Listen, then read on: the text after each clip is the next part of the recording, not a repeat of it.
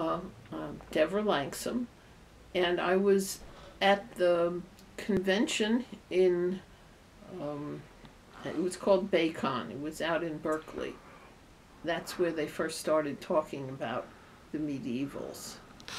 And um, after they came back and started thinking about it on the East Coast, I was involved in a sort of minor way because I was pretty active in the local science fiction community and there was a tremendous amount of overlap. In fact, there was a, there was a strong effort to not have SCA events overlapping with science fiction conventions on the East Coast, such as uh, Lunacon and Boskone, because so many people were in both groups. um, Lord L. Two Knives, Elliot Shorter, for example. And um, somewhere about that time, Cariadoc moved to the East Coast, and um, he was around, so that was that was also part of it. Um, I've been interested in history and historical material for a very long time.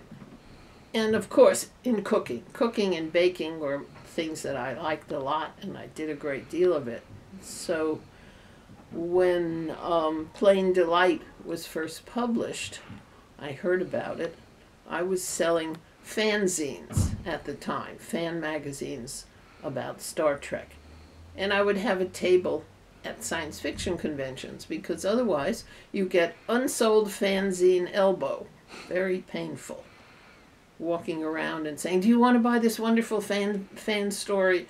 So I had a table in the dealer's room.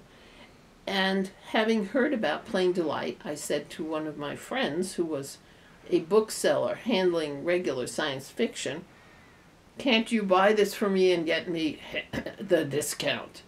And he said, Don't you know four other people who would like to have this book? You can do it yourself. And so I did. And then I found other books, like the ones that the Metropolitan Museum was publishing to the King's Taste and to the Queen's Taste as a kit with uh, little bottles of appropriate spices like cubebs and sandalwood that at that time were almost impossible to get hold of. So they had this nifty little kit with the book and the spices, and I would sell that.